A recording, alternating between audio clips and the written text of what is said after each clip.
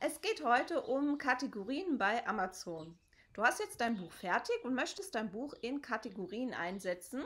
Wie du siehst, hier zum Beispiel Fantasy Comics, äh, Fantasy für Jugendliche oder Fantasy Romane.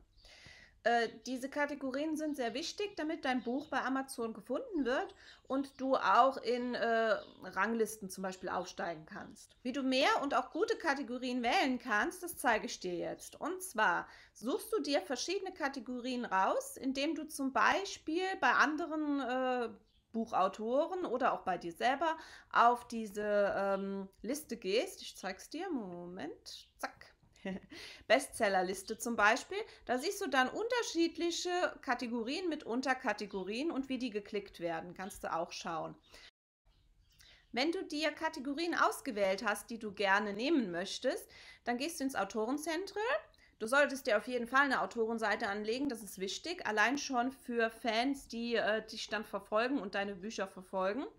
Im Autorenzentrum kannst du auf Kontakte gehen hier gibt es auch noch jede Menge andere Sachen, die du machen kannst. Also du gehst dann auf Kontakte, aber es muss im Autorenzentrum sein.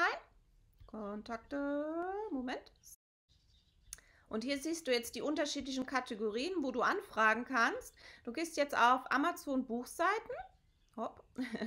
Und dann gehst du auf ähm, Kategorien, Amazon Kategorien. Und hier hast du dann jetzt schon das vorgefertigte Formular. Da gibst du die ähm, ISBN-Nummer von deinem Buch ein, die ASIN, da steht alles drin. Und dann musst du dir die Kategorien, die du ausgewählt hast, hier eintragen, mit Link am besten dazu. So kann das dann aussehen.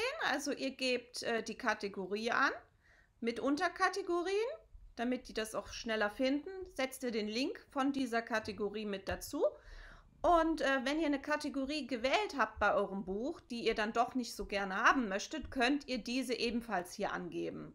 Und bedankt euch freundlich, weil die sind sehr hilfsbereit. Und denkt dran, auf jeden Fall äh, mit anzugeben, ISBN und, und beim äh, E-Book die ISIN, damit die äh, euer Buch auch direkt finden.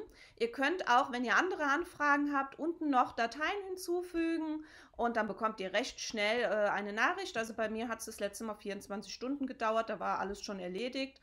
Also ähm, das ist ein ganz tolles Tool, was ihr nutzen solltet, um euer Buch besser zu platzieren. Ich hoffe, ich konnte euch helfen. Gebt mir gerne einen Daumen hoch.